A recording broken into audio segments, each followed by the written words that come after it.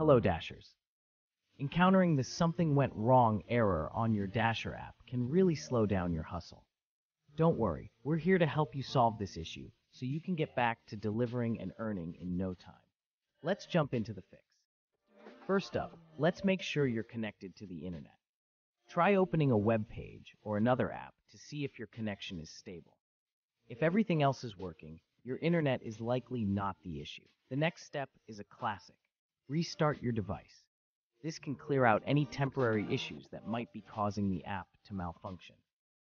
Turn your phone or tablet off, wait a moment, then turn it back on and try the Dasher app again.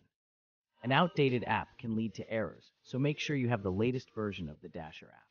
Head over to your App Store, check for updates, and install any that are available. This can fix bugs and improve app stability. A full cache can sometimes cause problems.